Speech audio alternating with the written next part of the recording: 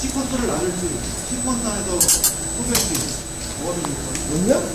돈독이 많네. 이씨. 너 시퀀스를 다른 시퀀스로 만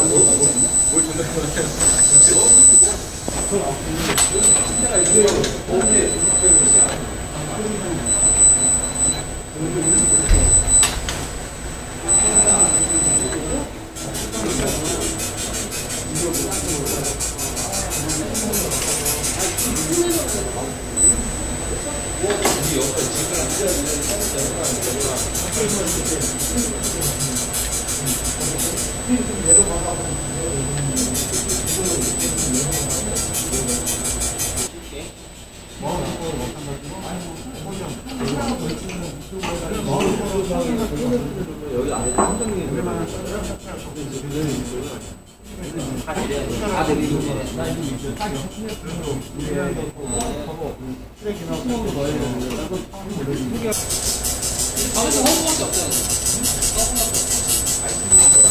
올려봐.